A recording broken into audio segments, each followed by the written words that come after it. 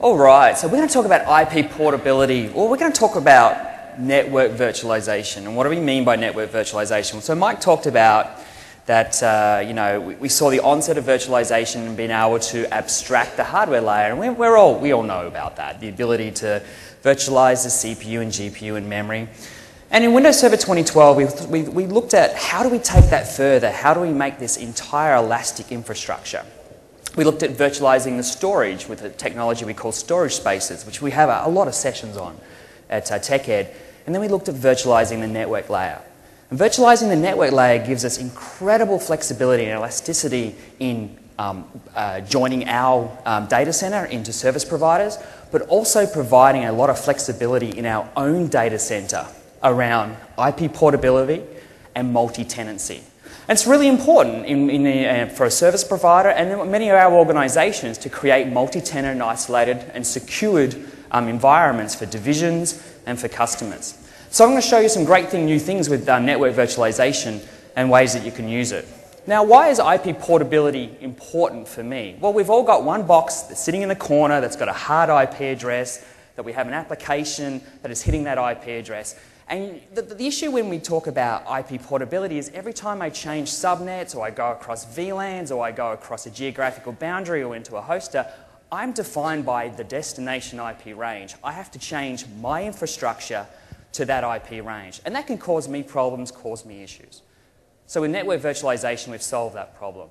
So what I'm showing you here is um, a virtual machine manager, vNext, which is our next version of virtual machine manager, running on Windows Server 2012.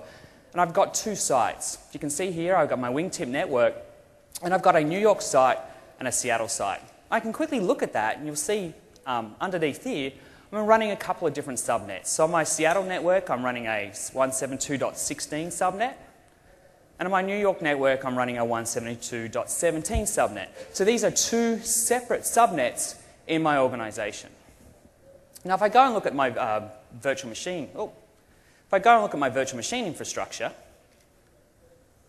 you can see in my New York office, I'm running both a co-host server 1, which is a multi-tenant environment. Because we can run secure multi-tenancy, I'm running both my infrastructure services to support my infrastructure, and I'm running this customer server or this division server, which is fully isolated utilizing network virtualization. If I look at my Seattle office, you can see I'm running a co-host server 3. Two different servers sitting in two different offices on two different subnets. And the great thing here is if I go and actually have a look at the IP address range of each of these servers, I'm just going to run a really quick script here. What this will do is it will bring back a couple of really interesting things to look at. One, you can see here on the top one, I'm running it on the local server. This is in my Seattle office. Host 3 is my New York office. What you're seeing here is the address of one of the co-host servers, co-host server 1, is 10.2.1.4. The other address is 10.2.1.9. They are in exactly the same subnet. They can actually talk to each other. They can ping each other. In fact, if you have a look, this is the server, my co-host server here. We can have a look at his IP address. That's that 10.2.1.9. And he can happily ping across the network. So even though I've got two different subnets across two, you know, across two different sites, these um, servers look and feel like they're in the same subnet. But underneath the, uh, underneath the, uh, the covers here, what you're looking at is these have provider addresses. So these actually have these physical addresses that are associated in each of those subnets, and utilizing network virtualization, that's invisible to this infrastructure, it's invisible to these virtual machines. So this provi provides me that great multi-tenant isolation, that great network virtualization. But it doesn't stop there. I can actually do some really powerful things. For example, if I go back to my VMM here, I'm going to take my co-host server 3 and I'm going to live migrate that across um, into the other subnet. So I'm just going to migrate this virtual machine.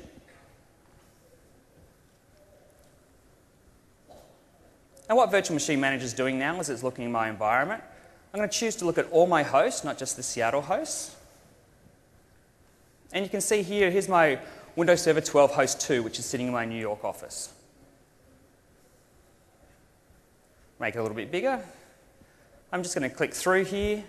Um, the great thing here is that all this stuff is built on PowerShell. So everything I'm doing in System Center is actually exporting, utilizing a PowerShell script. And I can export these PowerShell scripts to run this time and time again. with PowerShell, then I can orchestrate it and I can automate it. So it's a very, very powerful solution. I can take this information, I'm going to hit the move button. So what will happen as we talk is this will actually live migrate from one server to the other. It should happen fairly quickly. We're on a fairly fast network here.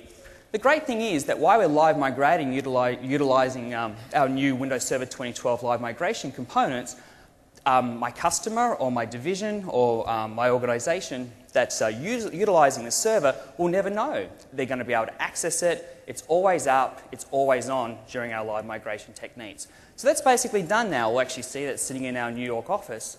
Now, if we go back to this PowerShell script that we showed you before, you can see some great things here. So I can go and um, look at this one. You can see no provider addresses here. But again, if I look at this one, you can see now it's picked up the sub, new subnet provider address, but it's kept its customer IP address. So I've got the ability to move virtual machines across subnet boundaries, um, uh, keeping its own IP address, providing IP portability. I can use this in my organization, I can use this across the cloud with a service provider. The great thing here is we're not limited by VLANs, and network virtualization provides me a lot of elasticity for all my networks and uh, all my customers out there. Thank you very much.